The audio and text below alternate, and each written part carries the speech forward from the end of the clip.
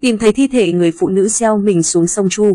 Sau khi nhận tin báo một người phụ nữ gieo mình xuống sông Chu, huyện Trợ Mới, tỉnh Bắc Cạn vào sáng ngày 12 tháng 5, lực lượng chức năng đã nhanh chóng tìm kiếm và phát hiện thi thể nạn nhân tại tổ 2, thị trấn Đồng Tâm. Theo người dân khu vực cho biết, vào khoảng 10 giờ sáng, một người phụ nữ đã đi đến cầu ổ gà, hay còn gọi là cầu chợ mới, thuộc tổ 6, thị trấn Đồng Tâm, huyện chợ mới, bất ngờ nhảy xuống sông Chu, sau đó mất tích. Nhận được tin báo, lực lượng chức năng địa phương đã nhanh chóng có mặt tại hiện trường, tiến hành các phương án tìm kiếm nạn nhân. Đến khoảng 10 giờ 30 phút, lực lượng chức năng phát hiện thi thể nạn nhân cách đó không xa. Khu vực tìm thấy thi thể là tại đoạn sông thuộc tổ 2, thị trấn Đồng Tâm.